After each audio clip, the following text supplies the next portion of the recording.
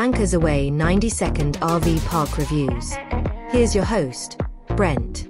Hi guys, today we're in Rouleau and we're in the campground there. Um, it's a nice little campground, it's got two pull throughs and it's got four back ins, so only six sites. There are power uh, and water. There are no other facilities there apart from a dump station. So you only have uh, power and water. There are only 30 amp sites and it's $20 a night, so it's really cheap. Um, the town of Rouleau is quite small. Uh, you can't get your 10,000 steps by walking around the town. You'd have to do it two or three times. Uh, but it is perfectly located to do day trips to Regina and Moose Jaw. So if you're going to be traveling around in that area and you want to go and visit Moose Jaw or Regina and see the things that are there, then this is a perfect spot to do it from because it's basically right in the middle of the two of them.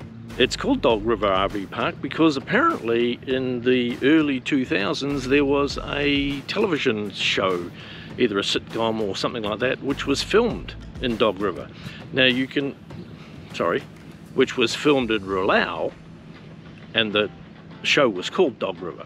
So the campground's named after the show, but it's in Rouleau. Now there's also a walking tour that you can go on. We didn't bother to do that because we've never heard of the show Dog River. But if you have, and you want to go and visit all the places, then go to Dog River Campground in Rouleau. All right guys, thanks for watching. See you next time. Thanks for watching Anchors Away RV park reviews.